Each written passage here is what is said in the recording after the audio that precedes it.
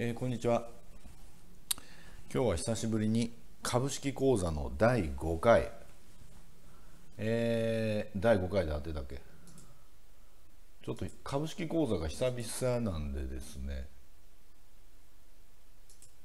第4回まで、えファンダメンタルズかテクニカルかということでお送りしたんですけども、えー、一応ちょっと今までのやつをまとめていきます。えーと、まずその株というのはなんで株をやっているのかっていうのを目的を見失うと非常にまずいんですね。うん、こういつまでも儲かり続けるからいつまでもやればいいじゃないかっていうふうに思うかもしれないけどあのある目的を達成したらそこでやめたっていいんですよ。うん、というか何でもそうですけど出口が見えてないとあのただだらだらとやっていいもんではないですし一定の所定の目的額を貯めれば全然やめたっていいんですね。うん、で株の目的っていうのはもうただ一つそれはお金を増やしていくことなんだけどそのお金を増やす目的は何かって言ったらこれは日々の労働から解放されることなんですね。これ以外にはないんですよ。例えば贅沢をしたいためにお金を貯める。まあこういうのも最初のうちはいいかもしれないんですけどそのうち本質的じゃないことに気づくんですね。やっぱり我々お金を稼がなきゃいけないっていうのはなぜかというと日々生活をしてえー、食べ食べ物をですね食べてできちんと家に家に住んで、まあ、着るもの衣食住をちゃんとして生活をしていくということなんだけどまあそのためにまあ得てしてですねあの満員電車に乗ってまあ誰しもが好きな仕事をしているわけじゃないんでまあ、大変な仕事に向かうわけですね。まあ、それはそれで労働の喜びっていうのもあるんだけどあのできればそこから解放されたいっていうまあもう本当に自分のやりたいことをやるっていう、まあ、よく最近 YouTuber とかの人が言ってますけどまあそれは大げさじゃなくそうなんですよ。でもちろんその自分の仕事が今の仕事が好きであればお金を貯まってあの労働から解放される状態になったとしても続けてもいいしそれはもうそれ以降は自分の好きな、まあ、自己実現とまでは言いませんけどあのか自分の活動の一つですよね。うん、でまあ掲示板とかでも言いましたけどあの 哲学者のですねえー、まあある人が言ったのはその働くということには3段階あってまあ労働というレイバーとそれから作業ワークそして活動というアクティビティですね。でできまあなるべく最終的な活動のところまでみんな行った方がいいというふうに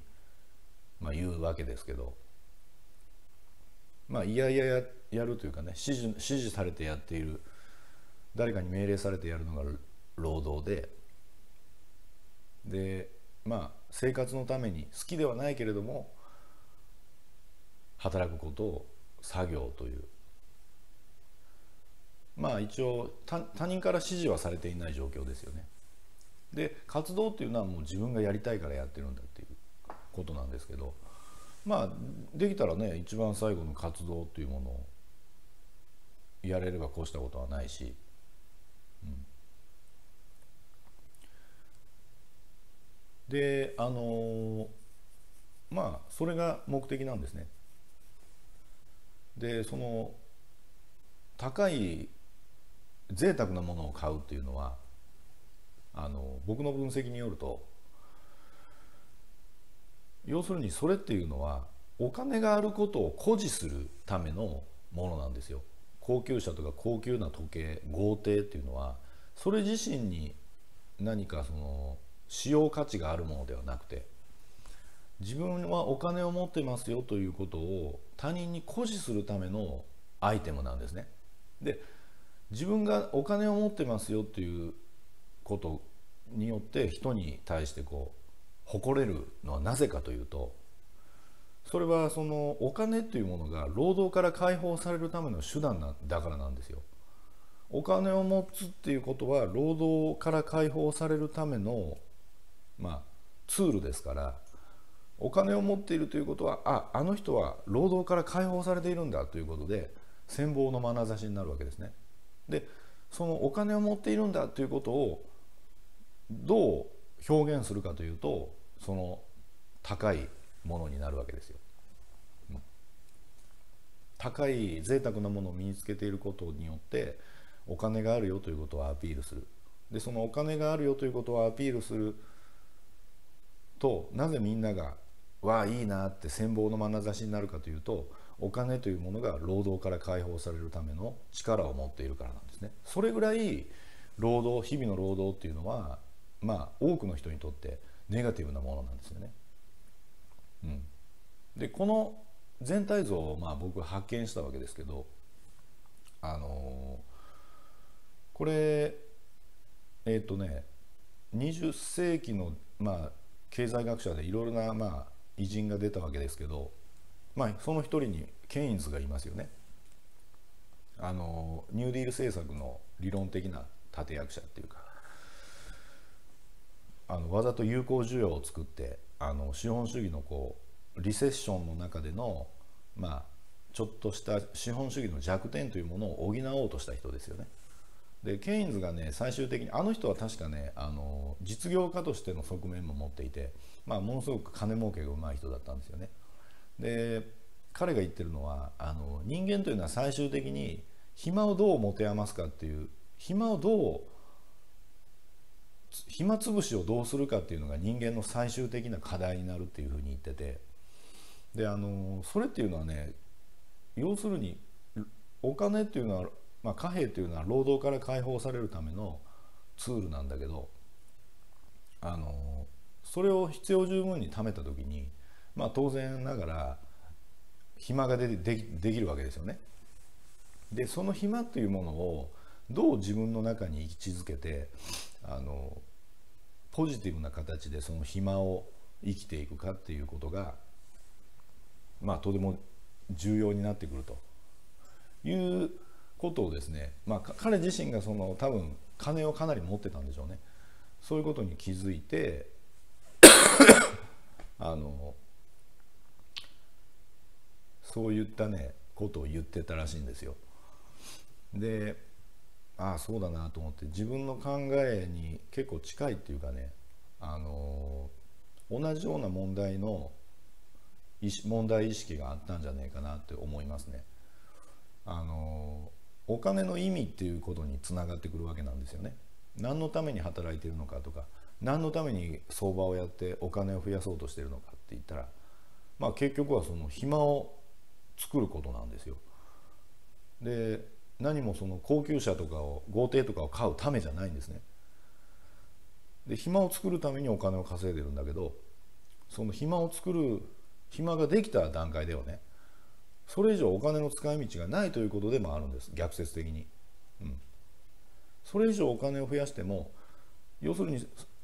すでに自分は労働から解放されていると。でそれ以上お金を増やしてもじゃあそれは何を何のためになるんですかっていうでまあ例えば一日中働かない身分になったとしてそれ以上お金が貯まってもまあも元より働いてないんですから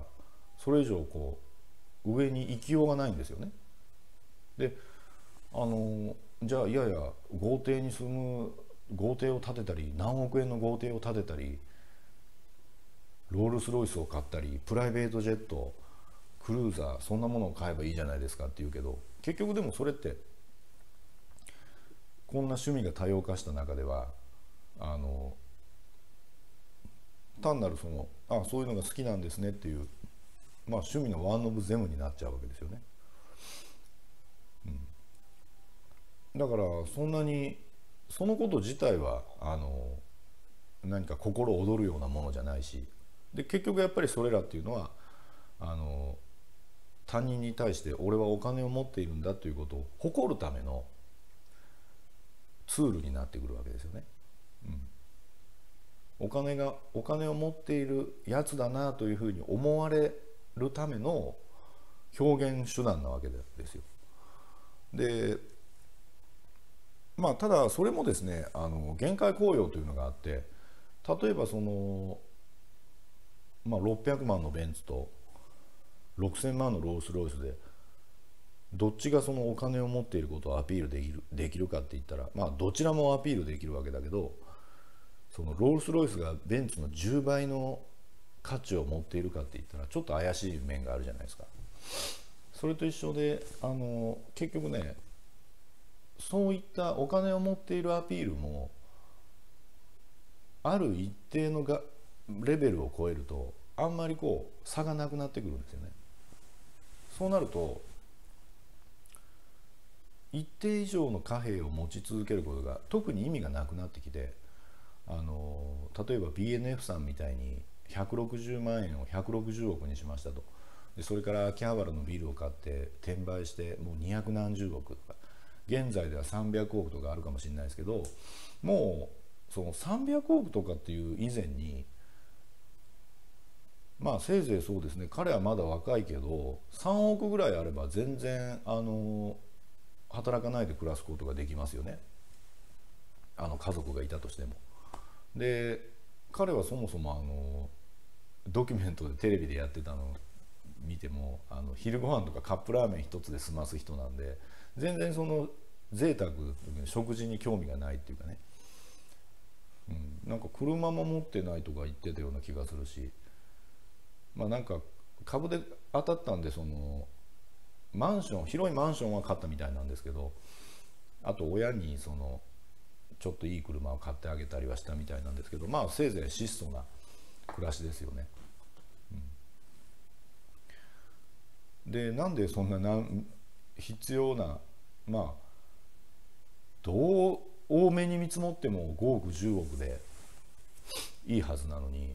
その何百億っていうねでそれはなんか本人に言わせるといやなんかやったら稼げるのに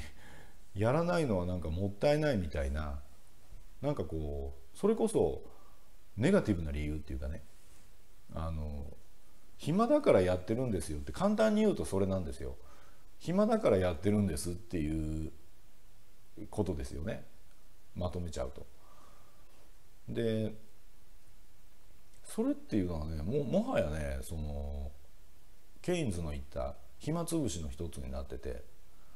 あの労働から解放されて、まあ、彼の場合その広いマンションに住んで、まあ、結婚してもお子さんもいるみたいなんだけどあの朝起きてじゃあご飯を食べたらもうその一日中あとは何をしてもいいっていうね。もう何百億ってあるんだからあの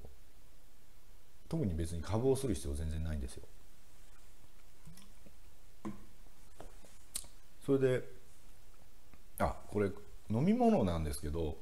この放送中に飲み物が必須だってことが分かってきたんですね。というのはあの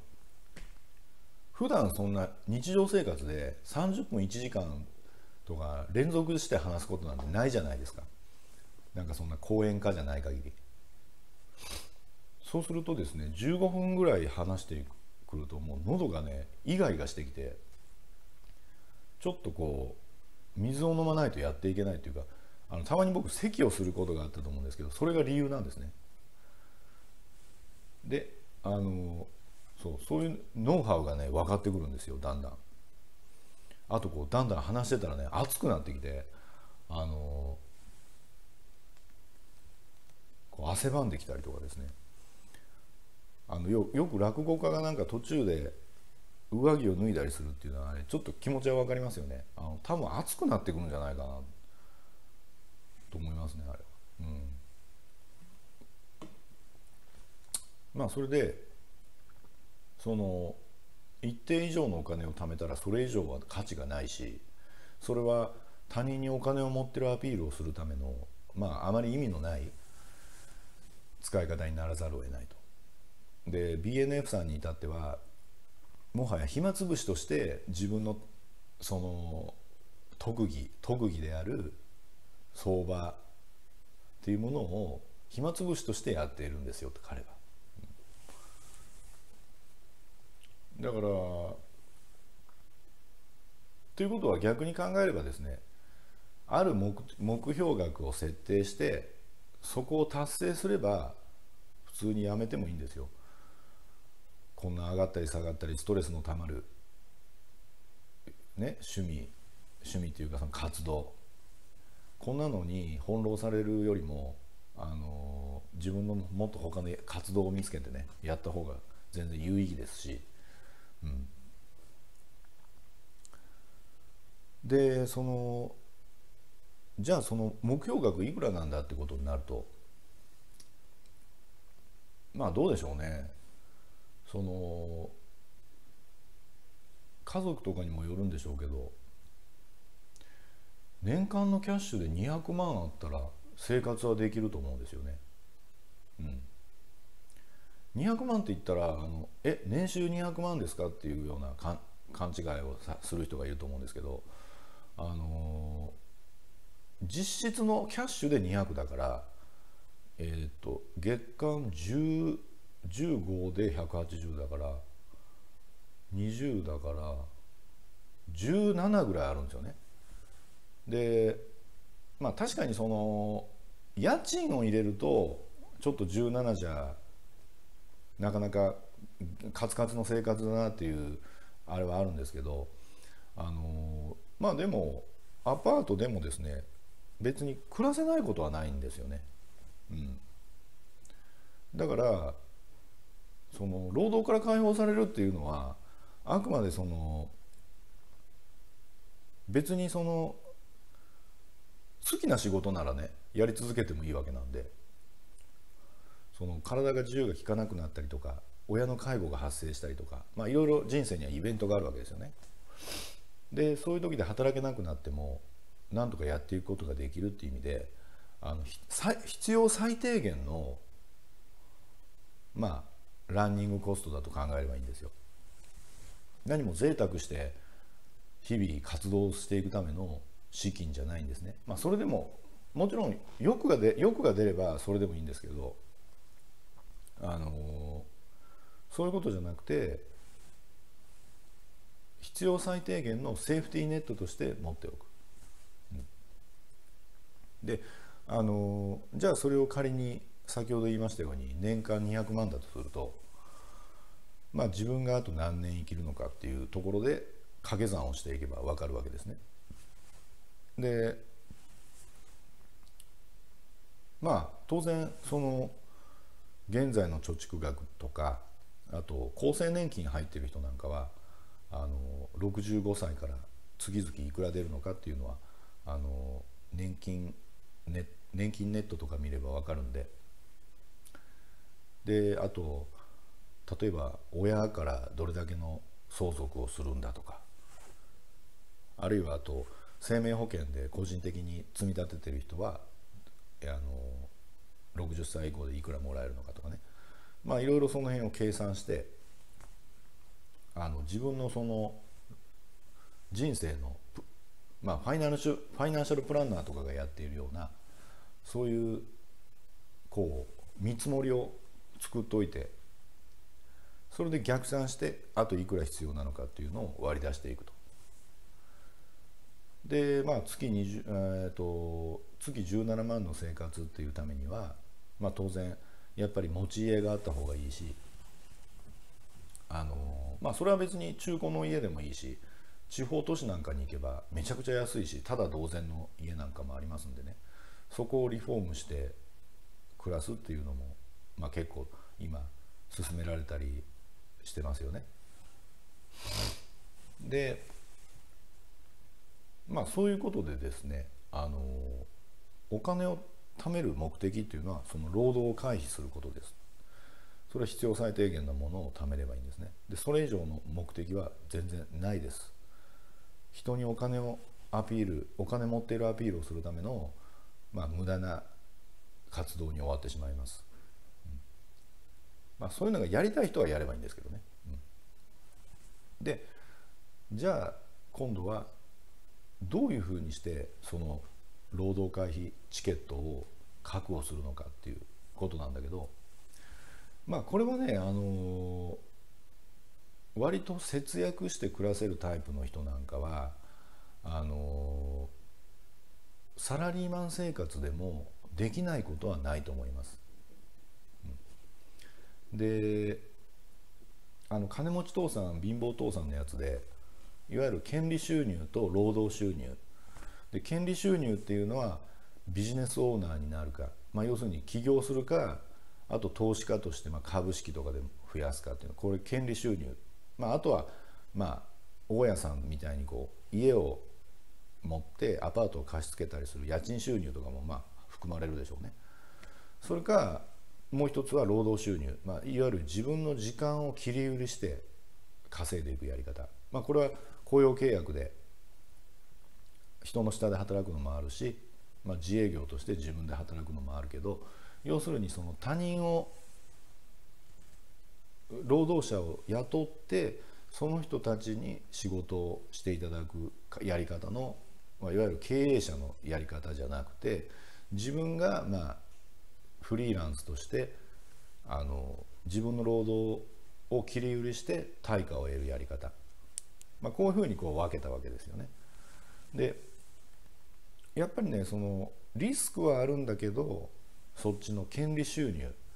えー、企業投資家大家とかっていう、まあ、地主とかねそっちの方がまあリスクはあるんだけれどもリターンも大きいのでその労働回避チケットを貯めるやり方としては好都合好都合であると。だけども労働収入の方で例えばもうまあ割とあの営業関係の仕事だったら、まあ、成績に応じて結構コミッションが与えられるんで、まあ、稼げる人はすごく稼いでる人もいるし、まあ、そういう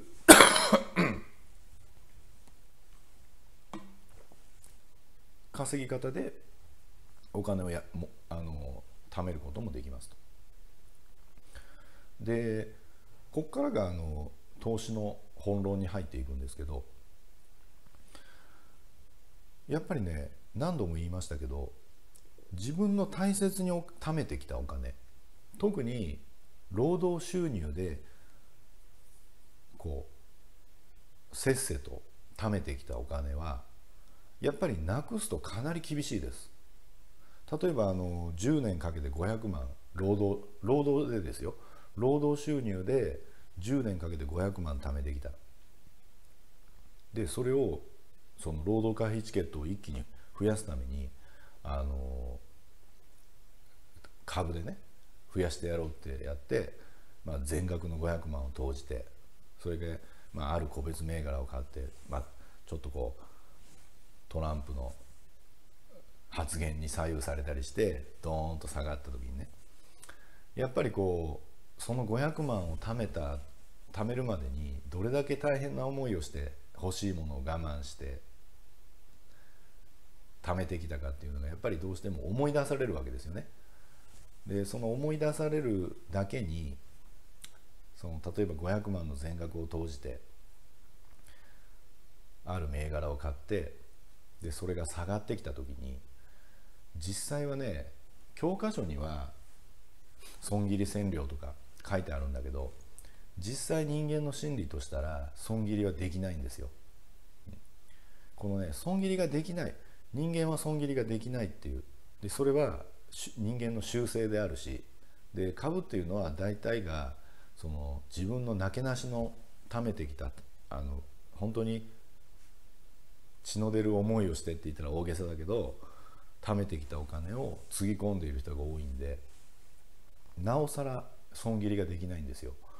5%ぐらいの損切りでも全然できないしでこれはねやっぱり経験者としてやってみないと分かんないんだけどあの損切りができないと。で株っていうのは得てしてこの波動を描くもんですからね。あの今はただ買い値から下がっているけれどもしばらく耐えていればまた上昇の波動に戻って、えー、含み益も出てくるんじゃないかっていうふうに期待してずっと、ま、持ち続けるわけなんだけど得てしてねそういう最近のそのアルゴリズムであの波動がこう増幅されるような時代に突入してるからもう予想以上に下がってしまう。で特に信用なんかで買っているとあのその下げる時の含み損がすごく急速なスピードで下がりますから、まあ、言ってみれば3倍のスピードで下がるんですよね。あのフルで買ってた場合は。だからそのお衣装も含めてその実質損損を考えるともともとの500万が例えばまあ300万まで減ってきた。で250ぐらいまで減ってきたとするじゃないですか。そうするともうねその段階で今度は今まで損切りができなかったのに急に損切りしなきゃいけないと思い始めるんです。でそれはやっぱり過去10年でその500万を貯めてきたことの辛さがこう走馬灯のように思い描かれるわけ思い出されるわけですね。今損切りをすれば俺は5年5年分の無駄働きっていうかねあの5年分のそのロストで抑えることができるんだっていうねふうに急にそのこれはね5%で損切りできないのと半分になった時に損切りしなきゃいけないと思うのは実は裏表であの大切なお金だからこそそういう考え方になっちゃうんですね。ということで半分ぐらいで損切りしちゃうんですよ。でね今までの自分の負けてきた局面なんかを見てもで他の人の投資家の話なんかを聞いてても大体そうなんですね。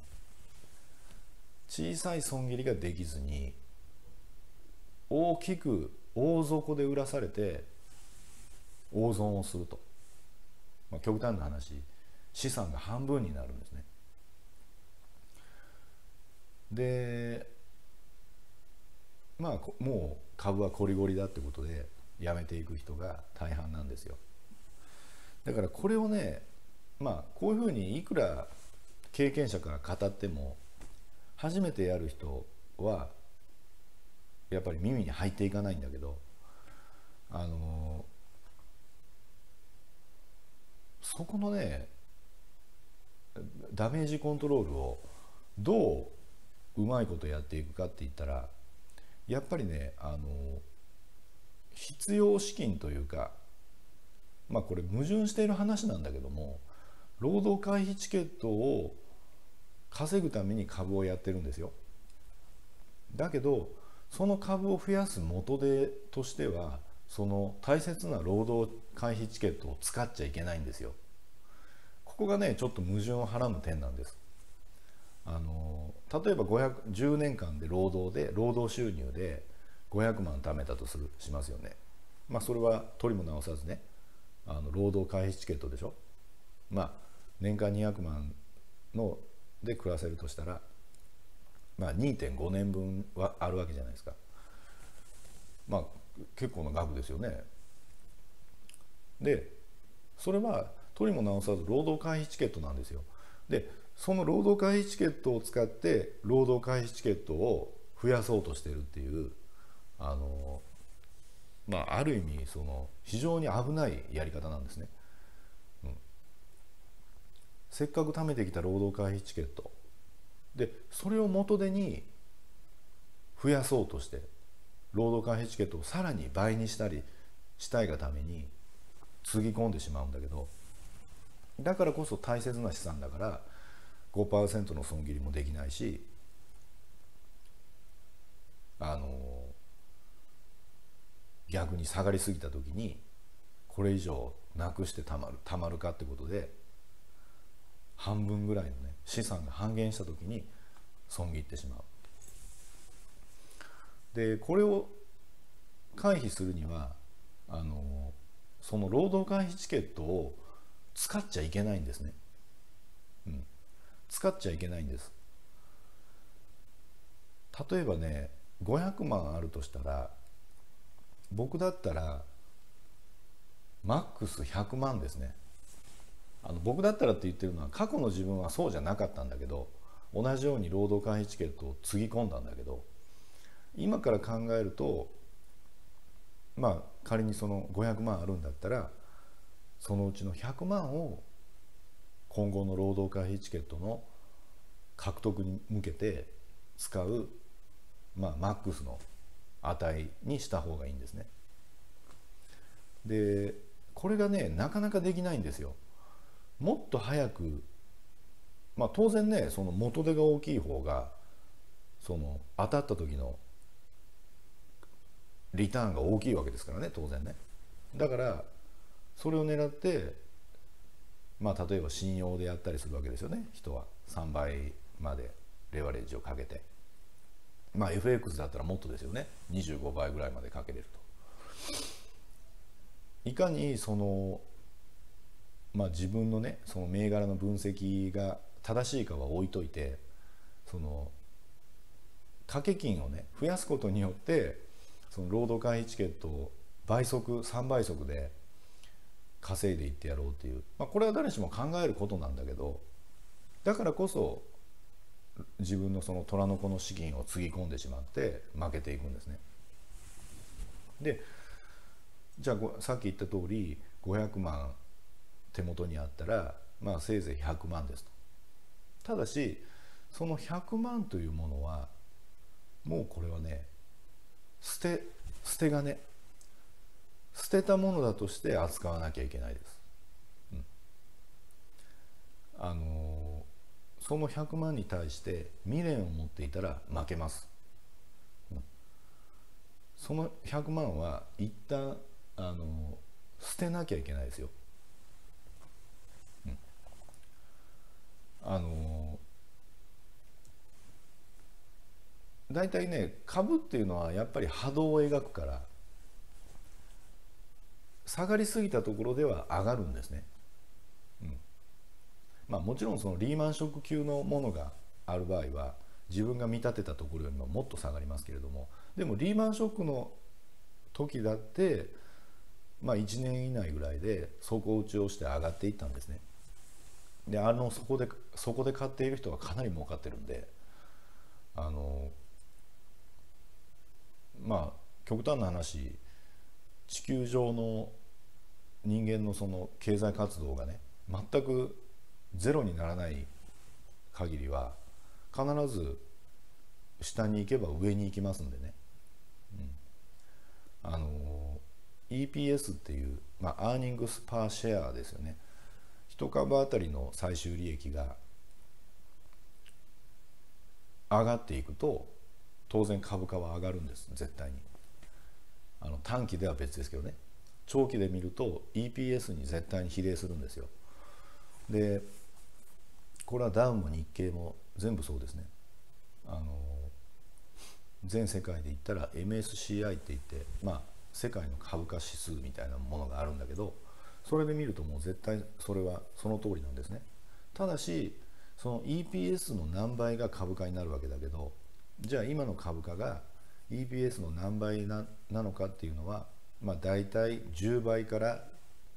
いや13倍から大体18倍ぐらいの間を行き来するんだけどとは言ってもまれに例えば10倍を切ってしまうこともあると。だけどそれはレアケースでおおむね平均的に14倍とか15倍に収まるわけなんですよね。でその虎の子の資金をかけると負ける。でじゃあその捨て金を自分の中で捨て金だと思えるところを用意して、まあ、500万だったら100万とかね。でそれをまあ捨て金として執着を捨てて、うん、相場を戦っていく。これがまず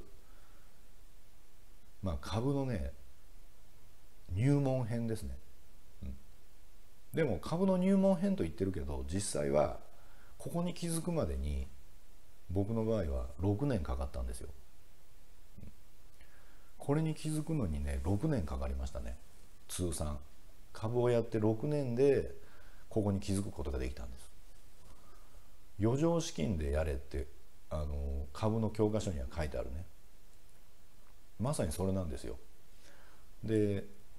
自分に自信がある人ほどそんな株の入門の教科書に書いてるようなことは俺には当てはまらないんだ。俺はもっとうまい方法でやるんだっていうふうにやっぱり思っちゃいますから。だけど何というか皮肉なことに自分が痛い目をして初めて株の入門書に書いてあることが理解できたんですよ。であのこれはね確かに成功例で見てると分かることで例えばあの BNF さんは160万円学生の時に貯めたアルバイトで始めたわけだけどあのまあぶっちゃけ学生の時って手元に自分の学生時代を思い返してみても分かるけど貯金なんか50万を超えたことは多分なかったと思うんですよ。あの親からの仕送りっていうのもあったけど、まあ、アルバイトでやってもすぐあの給料が入ってきたのを使ってましたからね貯金通帳に50万以上のお金があったことなんてなかったからあの学生ってそんなもんなんですよね。あのゆくゆく就職したらそれは真面目にそのお金の収支を考えていくだろうけどまあ学生なんだから別にその日まあその日までいかないけど、まあ、せいぜい今月暮らせればそれ以降のことはそんなに考えないですよね。で多分ね BNF さんもそれに近いマインドがあったんじゃないかと思うんですよ。あのまあある所詮アルバイトで貯めた160万だから別にゼロになってもそんなに深刻なことじゃないしまた就職して働ければ働けばそれでいいじゃんみたいな。で要するにその160万に対して執着心が全然なかったと思うんですよね。であとはそのよくあの主婦であのへそくりでなんか30万ぐらいを最初やってたのが1億になりましたとかっていうあのそういうブログみたいなやつとかあるじゃないですか。あれもね結局そのへそくりの30万だから良かったんですよ。うん、あのこんな話を僕はあのニュその株をやり始めた頃に、まあ、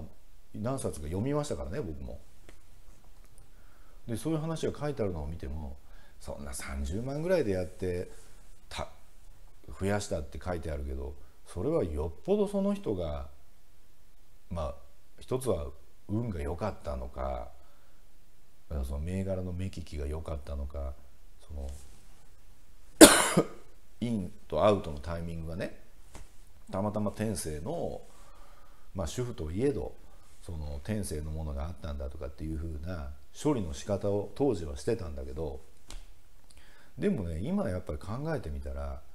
そのダメージコントロールが優れているから勝てたんだと思うんですよ。もちろんその人のその判断が良かったっていうのはありますよ。だけどそのそれ以前にベースとなるベースとなる条件として必要条件としてそのへそくりの30万なんだから別にゼロになってもいいよっていう執着のなさがあったと思うんですよ。でこれはね一つでもあの注意点があって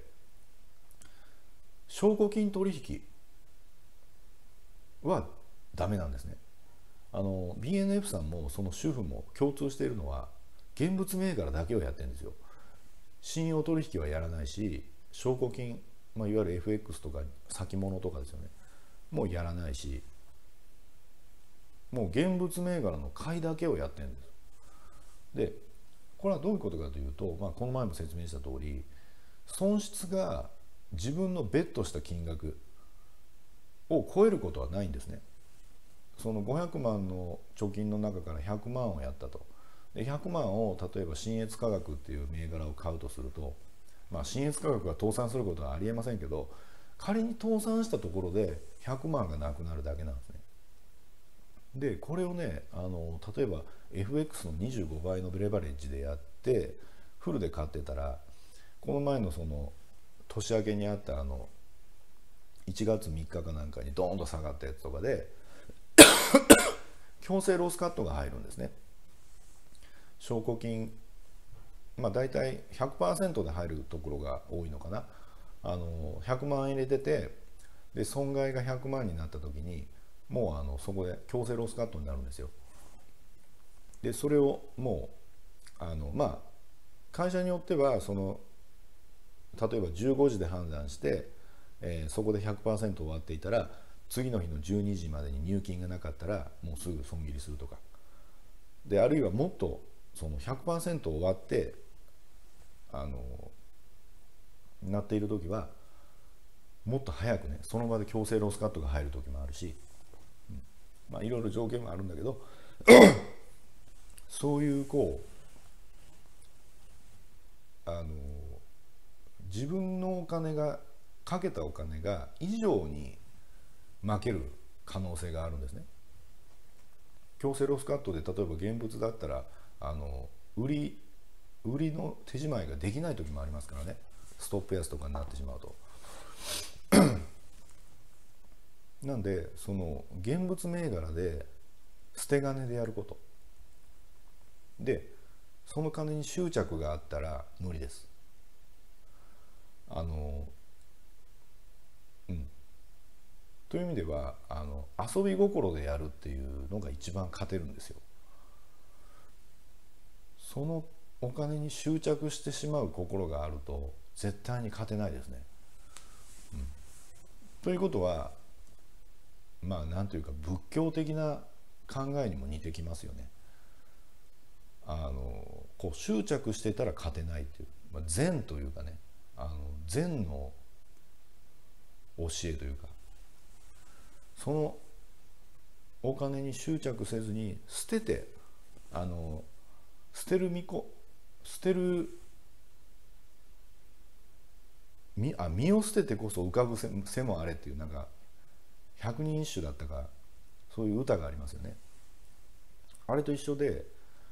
こう捨て身でいくっていう捨て一度捨てたものの方が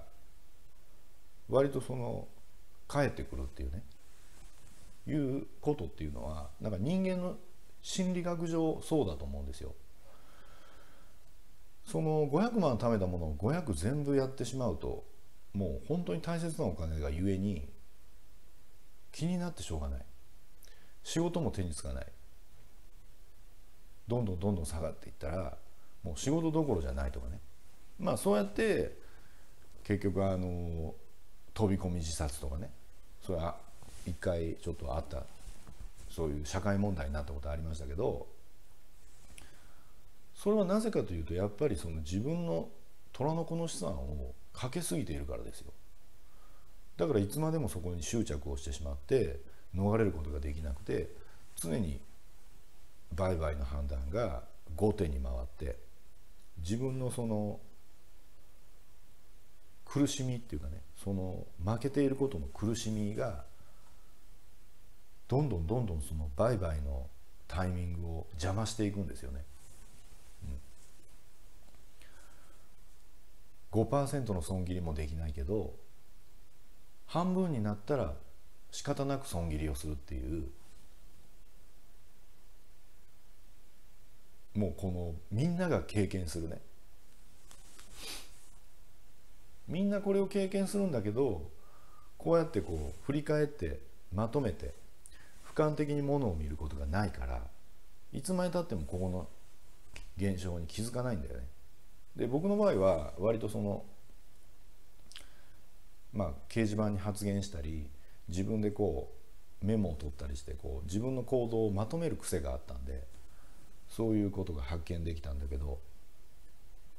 とにかく捨て金でやらなきゃダメそしてその捨て金は一旦文字通り捨ててくださいそうした時に逆に損切りができるようになるんですよ。一度捨てた100万円だから5%下がっても普通に損切りができるんですね。これねちょっと逆説的で分かりにくいかもしれないんだけどで逆にその100万円をかけたものがこう強行的に下がって50万円になったとしても自分がファンダメンタルズ分析で絶対に上がるはずだと思っていれば50万円になっても損切りすることがないんですよ。うん、もうね信念を持ってホールドし続けられるんですね。だから500万を無理して投じた時よりも100万円の捨て金にした方があのね売買のマインドが反対になるんですよ売買マインドがね逆転するんです。500万の時は5%でも損切りができなかった。だけど100万の時は5%で全然損切りできるんです。で500万の時は半分になった時にもう苦悶に満ちた表情で損切りをしてたんだけど100万の時は半分になってもいや絶対これは上がるんだっていう自分の信念があれば持ってられるんですね。だってそれは一度捨てた金だから。捨てた金なんだからある意味こう楽しんでやってるからね。でこの2つの差があるんですよ。それでねそのまあ BNF さんも主婦の30万円のへそくりでやった人もそういう軽い気持ちでやってるから逆にこうリズミカルに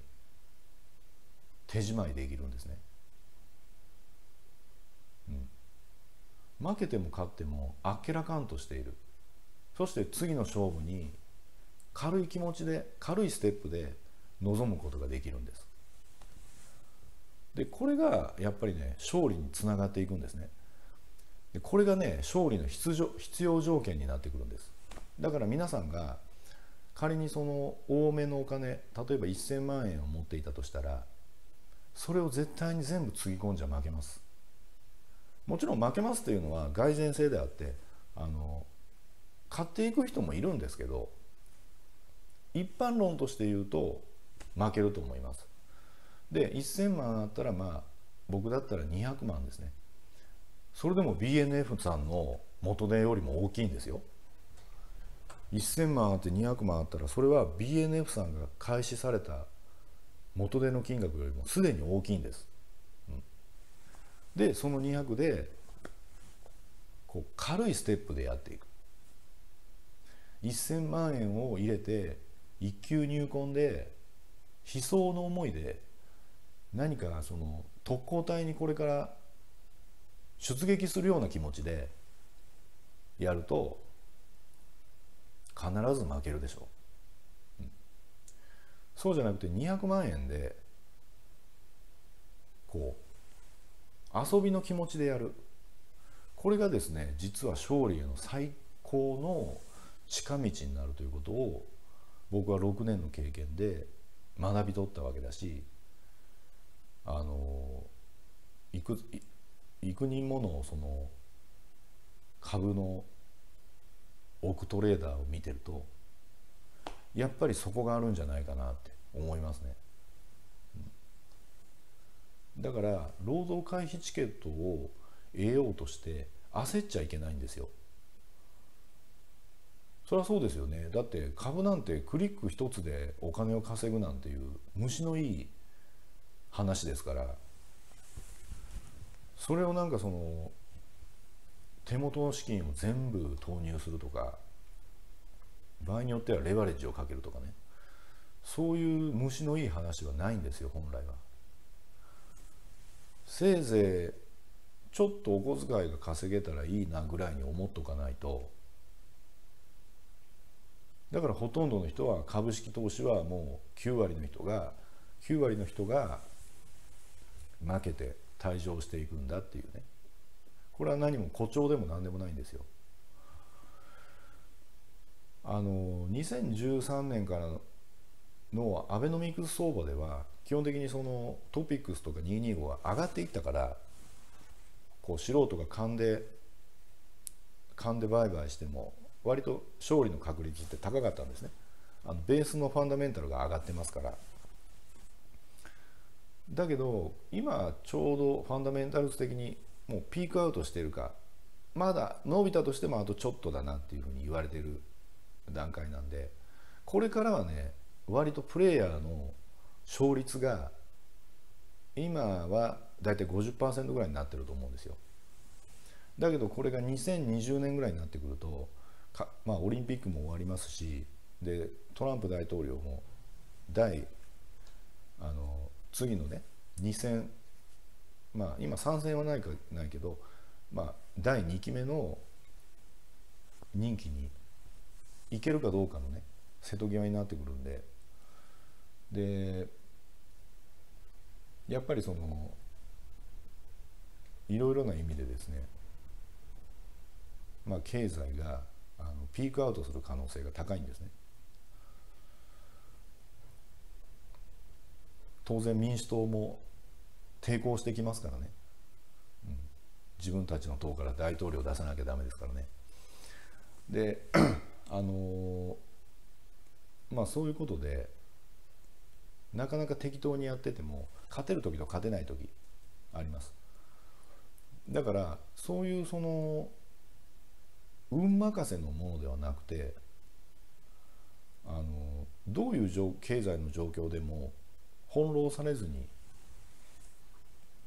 まあ最低でも元手を減らす減らさないようなそのプレーをするためにはやっぱりその自分の思い入れが強すぎる資金だとダメなんですよ。うん、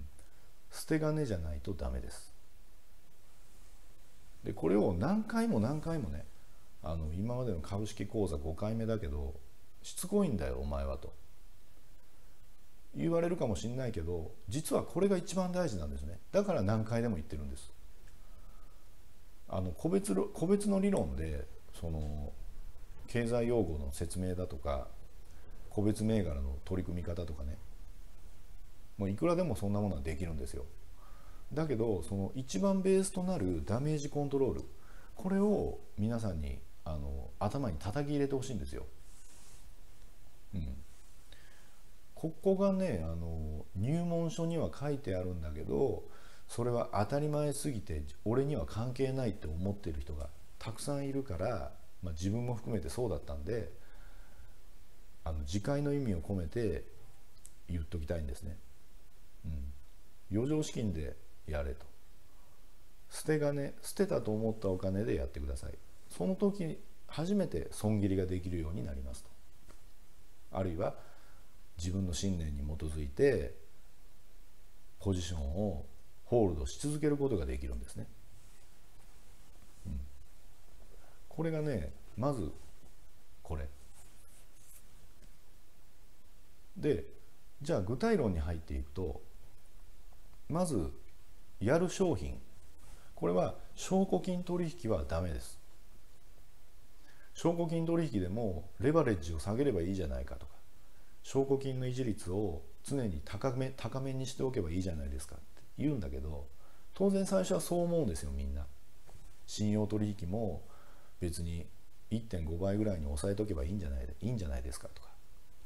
だけどねちょっとそういう気持ちでやり始める人っていうのは結局は自分のお金のエクスポージャーを高める傾向がすでにあるわけでしょ。すでにあるから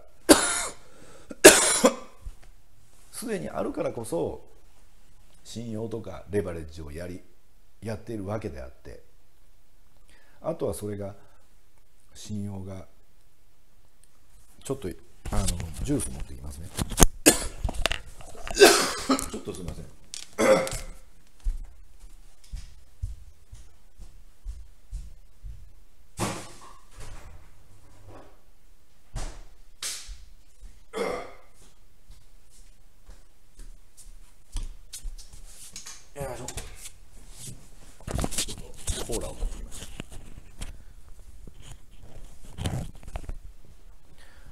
そのいかに自分はコントロールがついてるんだっていうふうにやっても結局 FX とか信用をやってるってことは自分の持ち金以上にエクスポージャーを増やしたいっていう表れなんですよ。だからこう負けが込んだ時にあの一気に挽回してやろうと思ってマックスのレバレッジでやってみたりとかなりがちなんですね。だからもう最初からやらない。証拠金やらない。じゃあ現物の個別銘柄。任天堂でもいいしソニーでもいいしそれですよね。でじゃあ信用はって言ったらダメです。自分の掛け金を超える損失が出ることがある。もちろん売りもダメです。信用の売り。これは株価っていうのは上がる上がる上に上がるのは天井ないですからね。買うのはその例えば100円で買って0円になる。値が消える方向で損は限定されてるんだけど信用で買っても結局お金を借りて買った分の損失にとどまるんだけど売り売りの方はまあ上がり続けることなんて実際はないんだけど実際理論上は上がりつもうめちゃくちゃ5倍10倍って上がる株も中にはあるんでねテンバーガーの株とかってそうなったら損失はもうめちゃくちゃ大きくなるだから買いは家まで売りは命までっていうわけですよね。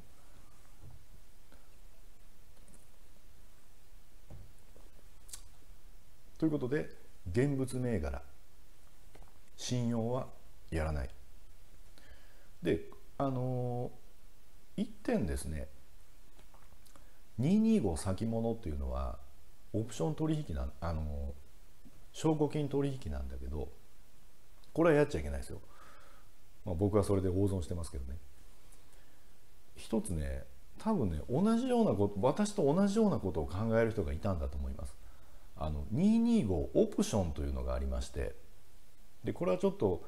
またややこしいんであの別途説明は今回はしませんけどオプションのね買いと売りがあってでオプションの買いだけはやってもいいです。オプションの買いっていうのはあのまあコールとプットっていうちょっと専門的になる話なんだけどコールとプットっていう商品を買うとあの例えばね今どれぐらいかな？1枚25万ぐらいするのかな、えー、ちょっと最新のあれを覚えてないんだけど例えばコールのか、えー、コールを1枚買ったとすると、まあ、25万円払って買うんだけども例えばそれがあの一番最大に損しても25万円が紙くずになるだけなんですよ。うんだから現物銘柄を25万円で買ったようなイメージになるんですね。でそれは当然あの225オプションというのは、え、まあ日経平均にまあほぼ連動して動くんで日経平均をまあ買う商品だと考えてもらっていいです。で間違っちゃいけないのはオプションの売りをやると損失が無限大になるんであのやめた方がいいです。うんオプションの売りはねコールとプットを買いと売りがあるっていう、まあ、4種類の取引があるんだけど、えー、コールのプットいずれにしても買いだったら OK です。だけどまあちょっと株の初心者の人は分かりにくいんであのオプションはまあある程度慣れてきた時にやった方がいいと思いますね。あとねちょっとオプションはあの流動性がちょっと低いんであの売りたい時に売れない可能性がちょっとありますね。うん、あの特にね海外マーケットが閉まってる時なんかはオプションのあの出来高ってめちゃくちゃ少ないんであのちょっと流動性が少ないんでその危ない時に売り逃げられるかどうかって言ったらねなかなかあの保証できない面があるんでまあだけど日経平均でやりたいんだっていう人は225オプションもおすすめです。まあそれ以前にですねあのいわゆる ETF であのブルとベアの、まあ、要するにダブルインバースとかって言ってあの日経平均が上がれば値が大きく増えていく、まあ、2倍に増えていくようなその組み込み組み込み込みにしたような商品というのが出てますんでね。あと日経平均が下がった時に、えー、その下げ方の2倍速で株価が上がっていくような、えー、ベアの、えー、ダブルっていうのも出てますんででその ETF っていうのはあの要するに最大に勝って最大に損するのは買った金額なんであのこれは安心してやってもいいです。あのベアでもブルでもあのいわゆる証拠金取引で売りをやるのとは話が違いますからまあただちょっとそれも今説明して割と中級者ぐらいじゃないとパッと理解できないと思うんでもしあなたが初心者であればその辺はまた慣れてきたらでいいでしょう、うん、だから現物銘柄。あのまあできたらそうですね。最初は東証一部の有名な銘柄に限定してもいいかもしれませんしまあそれでちょっとこう様子を伺ってね。最初はそのファンダメンタル分析っていうのをやってもいいんだけどとにかくその相場の売買っていうものをまあ損切りだとかその自分が思惑とどう全く独、ね、自分の思惑と勝手に動いていくその相場の特徴というものを、まあ、よく体験することが大事でしょうね。うん、あの相場というのは全く自分の思い入れとは独立して動いていきますんでね当たり前ですけどでそこに思い入れを持って執着してしまうと絶対に負けるんででかといってその流れに完全についていけばいいかっていうとそういうもんじゃないし流れについてついていってるっていうふうに自分で思い込んでもその自分が勝った途端株がね下がり始めるっていうのがオチなんで大体よくあることなんで流れについていこうとするのは一番難しいんですよ。うん、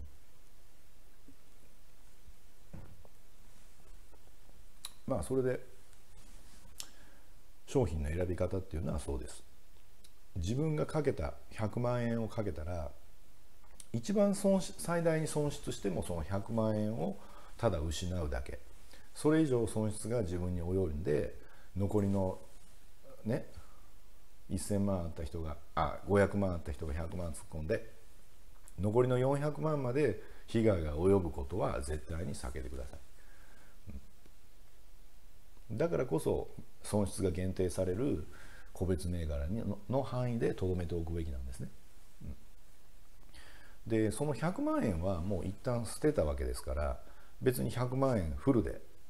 例えば任天堂がいいなと思ったんだったら100万円を任天堂でフルで突っ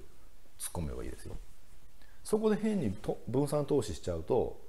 あの僕はね今なんか当たり前の面白くない相場のやり方を言ってるなと思うかもしれないけど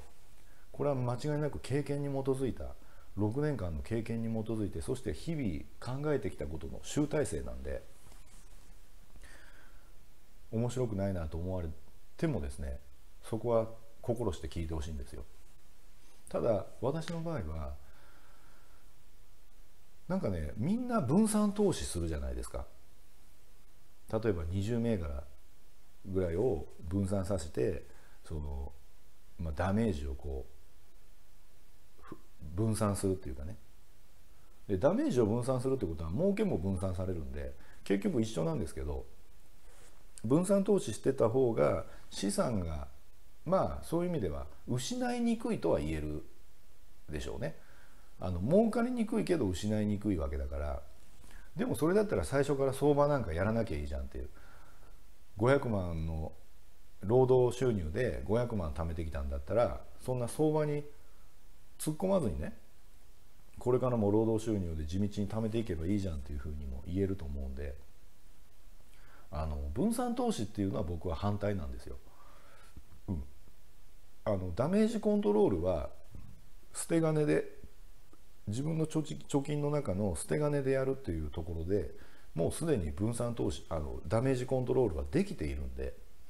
さらにそれを分散投資でダメージコントロールしてしまうとそのダメージコントロールの2乗になってしまうんであのそれはまずいんですよ。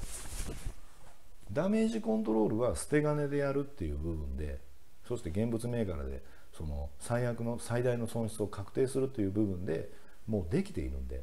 あとはじゃあ今度相場をやるからにはもっとリスキーで大胆な行動をとっていいんですよ。ここが大事なところ。もちろんあのそれはリスクを取った行動をしてるわけだから例えば単一銘柄にドーンと勝負するわけだからリスクがあるわけだから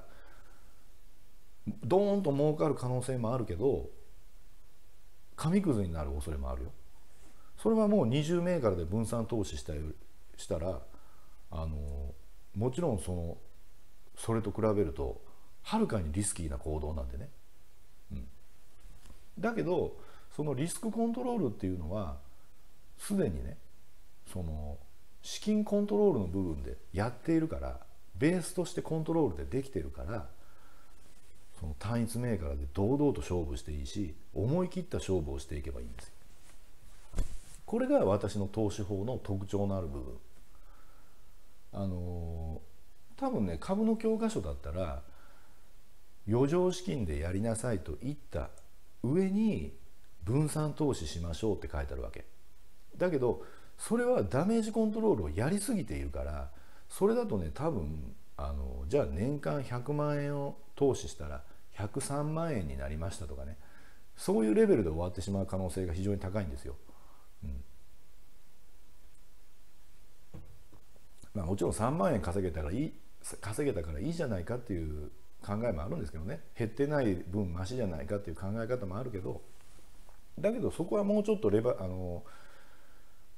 リスクを取って勝った時の喜びが大きい方がまあ面白いっていうのもありますからね。うん、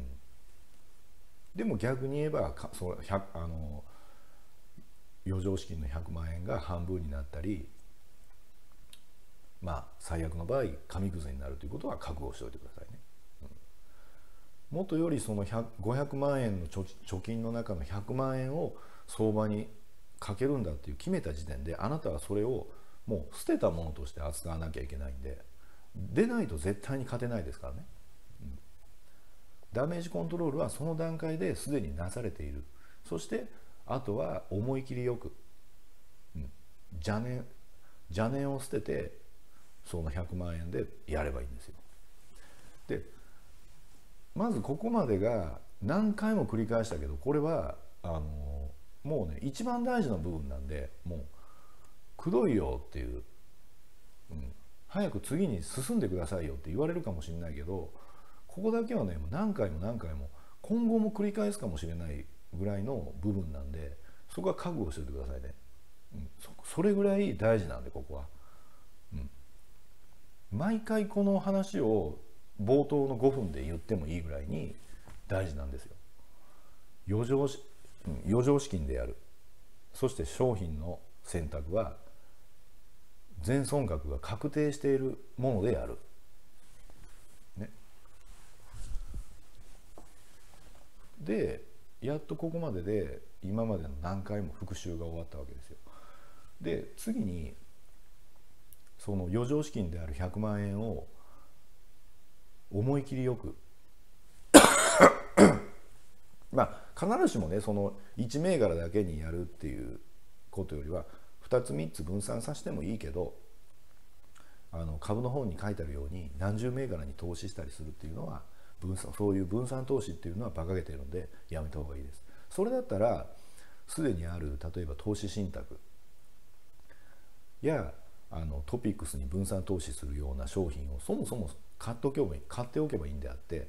あのっていうのはそのトピックスとかね日経の分散投資のやつってほとんど投資信託の割にはあの手数料がただだただのやつとかあと年間の運営管理費も0.3%とかねそういうもうほとんど取られないやつが多いんでもう花からね自信がなくて分散投資するぐらいだったらそういうものを買っておけばいいしあるいはそのプロに任せて例えば50銘柄でチョイスして日本の例えばまあ、いろいろはもうさあの投資信託って3,000種類ぐらいあるんで例えばそのベンチャーのバイオバイオベンチャーのね製薬のベンチャーの有望なやつの、えー、何十銘柄かで構成したようなやつとかね。あるいは自動運転自動運転に関する銘柄だけを世界から集めてきた50銘柄とかね。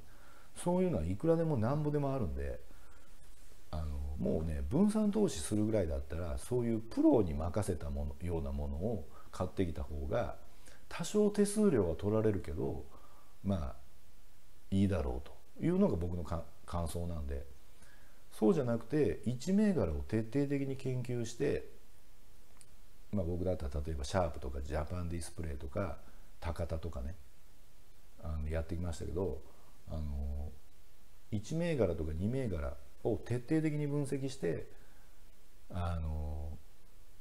単一銘柄で勝負するっていうのがあの面白いんですよね。面白いんですよ。であの同じ銘柄を継続して研究してるとものすごくね経済的な知識がつくんですね。経済的な知識があの本当にね累積してあの上達が早いです。あのでそれとは一方であの、まあ、単一銘柄をやるにしてもあのテクニカルでやる人っていうのもいるんですよ。これはあのその株、まあ、例えばジャパンディスプレイがあの今後どういう業績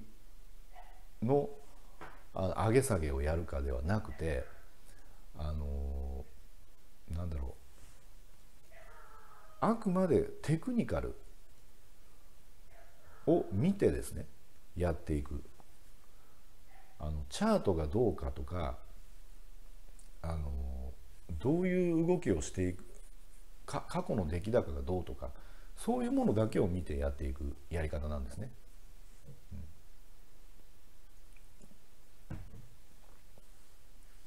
なんであの、まあ、これには大きく大きく2つ対立があるんでまあどっちでもいいんですけどあのまあ正直 BNF さんはテクニカルですよね。うん、あの人は過去の移動平均からの乖離率でやる手法を取っていた人なんで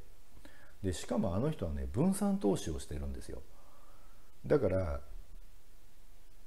あのあの人はね僕尊敬してるのはそのおそらくダメージコントロールがしっかりしてたっていう部分ですね現物銘柄しか取り組まないしで多分元手は全部捨てて捨て金でそのなくなってもいいと思ってたはずなんでここは尊敬してるんだけどあのっていうのは尊敬してるっていうのはそのもう最初からそれをその姿勢をずっと貫いたってことが尊敬できる部分なんですね。いろいろな自分の痛い思いを経てその境地に達したんじゃなくてあの人は最初からそのスタンスでずっと続けているってところがあのやっぱり才能があるなと思いましたよね。であのそうじゃなくて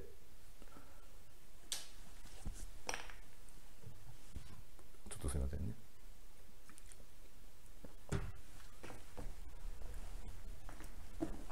そうじゃなくて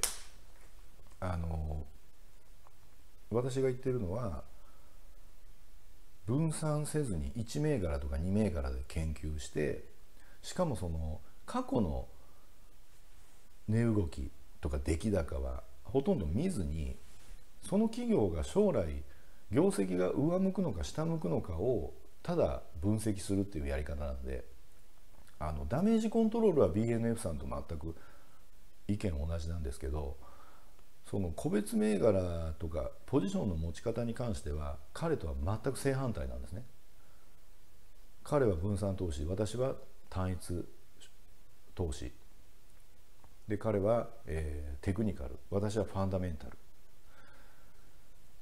とまあこういうふうに違うんですけど